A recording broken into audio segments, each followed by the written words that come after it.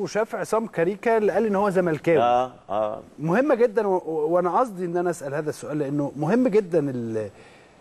ال...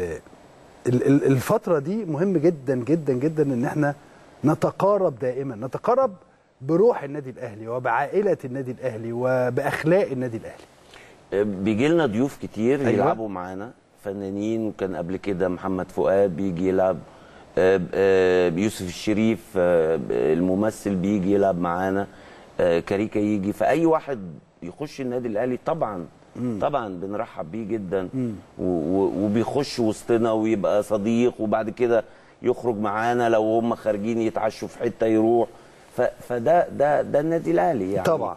آه، آه، ده اللي اتعلمناه بصرف النظر بقى إذا كان إسماعيلاوي زملكاوي بلاش ما علاقه تفرقش خالص. جوه النادي كده يعني يعني ما حدش بيحس إنه إنه جاي غريب على النادي. آه. آه، على طول يخش معانا ويندمج ويخش معانا أوضة اللبس ويقعد معانا في الجنينة وبعدين ينزل يلعب ونضحك ونهزر و و ويجي تاني يبقى مبسوط. آه، كاريكا من الناس اللي بتيجي. آه. آه، حتة ال- التعصب. أنت عارف دايما اللعيبة العلاقة بينهم كويسة. آه. في كل الأندية.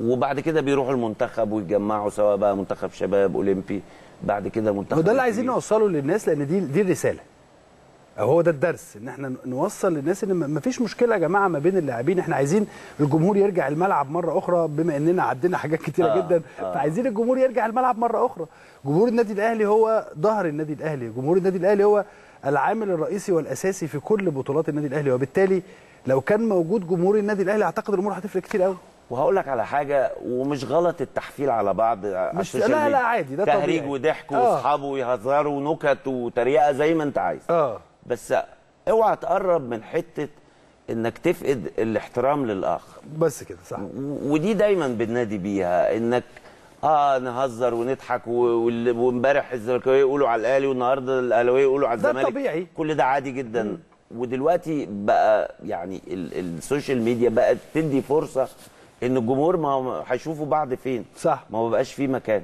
إيه إيه يا في الكافيهات يا على ال social media. ما بقاش فيه حتى المدرجات آه، بقت فاضية. ف- فمش غلط إن إحنا نهزر ونضحك لا ده الطريقة اتغيرت. كان من زمان كده على فكرة.